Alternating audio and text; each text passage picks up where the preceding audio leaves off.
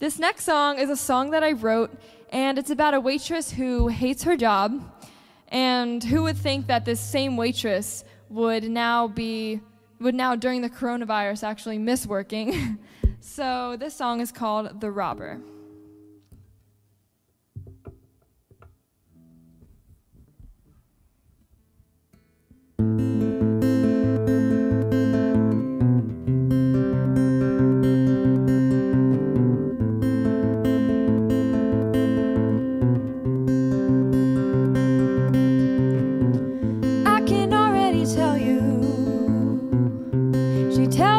Like it is.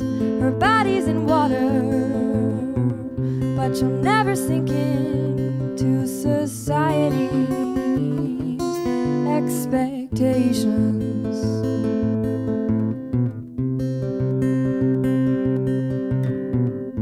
I watch her from the corner of that diner open nine to five. What's her will to survive. She hides her face as she sinks into her seat, as she shuffles through the tips of the day and the countless receipts. But I feel this is not her destiny.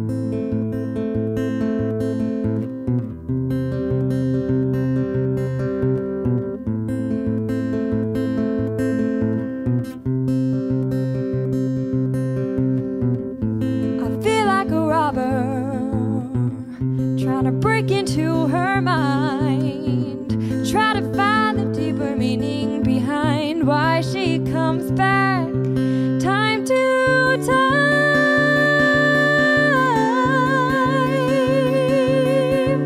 Her life could excel if she could just beat down her locked up doors. But the last time she gave herself away, the world left her sore.